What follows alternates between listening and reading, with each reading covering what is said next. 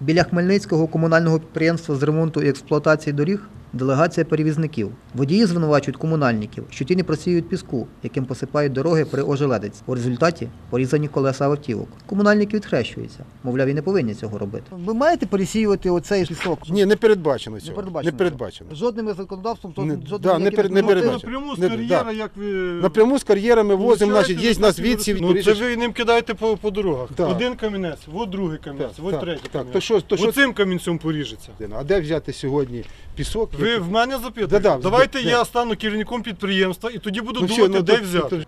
За словами комунальників, дороги вони посипають піском, відсівом і сіллю. Пісок та відсів беруть у Нетішинському гранітному кар'єрі, а велике каміння взагалі не може потрапити на дороги. Не відсіюється крізь решітки на спецтехніці. От решітка, яка йде на вертушки, от решітка. Вона не може попасти там в машину.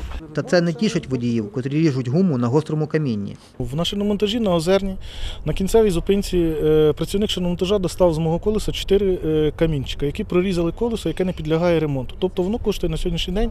Я поїхав в магазин, купив його 2000 гривень. Спочатку було прорізане одне переднє колесо, тільки виїхав водій по Старокостіновському шосе, на Старокостіновському шосе прорізав інше колесо. Автоперевізники обласного центру звернулися до влади.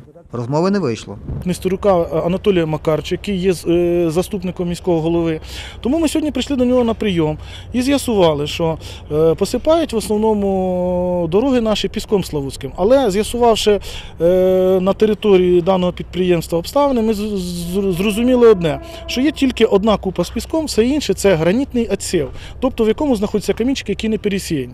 Даний е, заступник міського голови порадив мені особисто, щоб я до весни не виїжджав у зв'язку з тим, що дороги в неналежному стані. Посадовець же запевняє, збитки можна компенсувати, а наступного року ситуацію виправлять. Я їм сказав, якщо ви рахуєте, що це від каміння, ну хай е, поліція фіксує акт, складайте акт.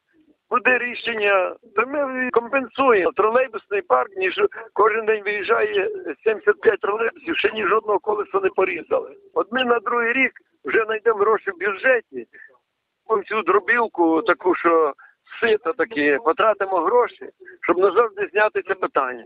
А допоки шукають бюджетні кошти, водії латають колеса.